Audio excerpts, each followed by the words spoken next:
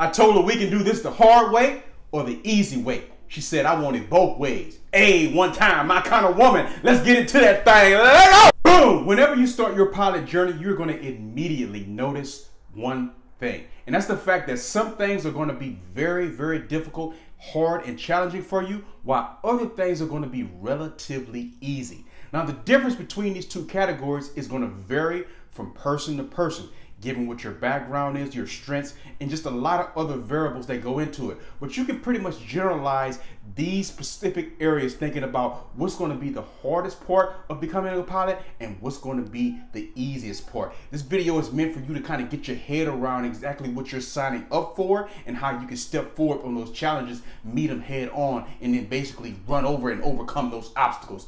Let's get into that thing. Let go! A, by far, the number one thing, the hardest thing to becoming a pilot is learning all the knowledge and ground school things that you must know. The knowledge and the theory. This can be the hardest and most challenging part for anyone who decides that they want to become a pilot by far. And there's a reason for that. This is number one reason why this channel was even created to help you with the knowledge and the ground portion about everything that you need to know for you to become a pilot. It's on this channel. And the reason why is simply because it's almost like learning a whole new world. Think about if you were born into a situation where you were born on a nice remote island with beautiful crystal clear water and you spent all your days fishing, surfing, scuba diving, and the way you got around on the island, you just walked wherever you wanted to go. You walked on that beautiful, clear, soft, black sand. So that's the kind of lifestyle that you grew up with your whole life. And then all of a sudden, when you got into young adulthood, you decided to yourself, you know what? I want to travel. I want to go and live in the United States. So then you pick a city. You pick New York City. So you fly out to JFK. As soon as you get to the airport and walk outside the airport, you begin to hear like all these buses and cars and trains and just the hustle and bustle of the city. You get excited, but you also start to embark on a whole new world, a world where people are actually driving cars, and then you decide that you want to learn how to drive. So just think about how stressful that can be and how much knowledge you got to learn if you grew up your entire life. Again, the way you got around your little small remote island was on foot. Now you got to learn how to do the mechanics of this car in addition to learning all the rules and regulations of the of the road. Think about the things that you take for granted. You may look at a sign and say, "Oh, what does that sign mean?" Oh, that's a stop sign. What about that sign right there? Why does it say speed limit 35 on this street, but then on the next street it says speed limit 75? Like all these different rules and regulations that you're going to have to kind of absorb and learn. Just think if all that was foreign to you. You know, that's the concept that you're getting into, and that's what you're really getting into when you decide to learn how to fly. Because even though you could have been around planes your whole life, and maybe you flew commercially and traveled and did a lot of different things, you were never pilot in command and you never had to learn about the logistics and the knowledge that goes along with it. Who cares what the weather is and the frequencies and et cetera, et cetera, et cetera. You're just gonna jump on a plane, sit back, relax, watch a movie, sleep, and then have a good time. It's a whole different level of responsibility when you're actually pilot in command about learning these things. And when they're foreign to you like that, that's what you're absorbing. All of that knowledge of something that you've just never been immersed with before. And that is why it's so difficult and why it is so challenging. Do not become discouraged. This is one of the most challenging and hardest parts for pretty much anyone. All you have to do, watch all the videos on this channel. Over 100 videos, pretty much about everything that you need to know to become a pilot. It breaks everything down in a very simple, clear, and easy way to understand why you can also have a little fun while you're learning that thing. A, but do not get discouraged at any point along the journey because know that it's hard for everyone for that simple reason we just discussed. It's just a significant download of information all at one time. Break it down into individual chunks Learn as you go. If you run across a roadblock, use one of the reference videos on this page as to help you get through it for another perspective. Stay motivated and stay ready. And most importantly, stay disciplined. A. Immediately after the knowledge portion, the second hardest part for you to become a pilot, without a doubt, is probably radio comms. Again, same situation as to why the knowledge portion is, is hard. It's a whole nother language. Learning the language of being a pilot. And then you jump on the comms in the very beginning and everyone's abbreviating everything and talking and speaking so quickly it makes everything even more intimidating for you so you want to pull back on that a little bit as well and understand that these are simple roadblocks that everyone has the knowledge portion, the radio portion. You're not alone in any of these things. Again, a plethora of videos on this channel that can help you get through any of that radio portion and make things a little bit easy for you and way less intimidating. So don't get discouraged in that as well. It's just a matter of you getting acclimated to it. Again, nice tip for you, always be exposed to this even when you're not flying. So on those days, each and every day, if you can pop open that live ATC app and begin to listen for just 10 to 15 minutes a day, it will pay significant dividends for you. Just think about if you were learning a foreign language, but each and every day you just practice 10, 15 minutes. Over time, that is going to add up significantly for you. At the end of the week, at the end of the month, at the end of several different months, repetition and consistency. It isn't about going out and doing all this ground schooling knowledge and learning all the stuff about radio comms in one shot. You spent hours, like say you spent all day Saturday trying to learn something. That's not really going to help you as much versus if you spread it out throughout the course of your training. You were just consistent every day. You didn't do a whole lot. 10, 15 minutes here, 15, 20 minutes there, it adds up. That compound interest over time, the whole time that you're learning, is going to help you in the long run. One of the biggest challenges and one of the things that can help you with the challenge of radio comms is the limited exposure. That's the challenge. The fact that you're only exposed to radio comms when you're actually flying the airplane. But if you can use these technology and the apps and things that are available to you where you're actually listening into radios each and every day, even on the days you do not fly, that is one of the keys to make it less challenging and it's not going to be as hard.